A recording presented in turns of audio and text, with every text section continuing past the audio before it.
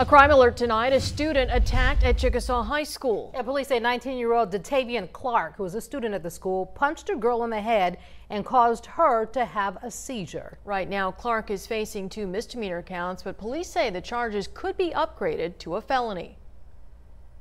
Chickasaw police say last Tuesday morning, just before 11, when classes changed at Chickasaw High School, 19 year old Detavion Clark attacked a female student who was in his class sitting at a desk. She didn't get up out of the seat or anything. He walked over to her and started beating her.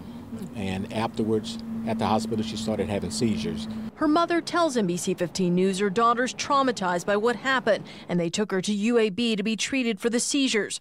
Right now, Clark, a senior, is charged with two misdemeanors disorderly conduct and assault third. Our school resource officer is looking into that um, to see if there's a chance that the charge can be raised to assault second, which is a felony.